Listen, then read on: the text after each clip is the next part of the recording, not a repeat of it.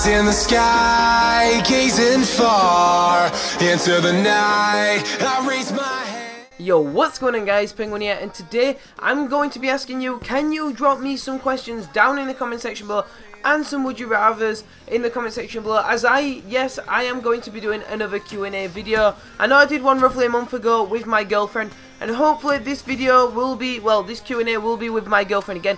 If not, it will be just with me. I need to ask her if she would like to do it and stuff. I have not, like, spoke to her about it yet. It's just a video idea that popped up in my head. You know what? Let's get another Q&A done. I'd like to know a bit more about y'all, and your, you know, you all might want to know a bit more about me. But anyway, guys, yes, go ahead, ask me questions in the comment section below, and put at the end of the question or before, put hashtag Ask Penguin. So basically, yes, guys, hashtag Ask Penguin. That is what you need to put. Also, if you're gonna um, ask me questions on Twitter, also put hashtag Ask Penguin on Twitter as well, guys. That's gonna be absolutely amazing.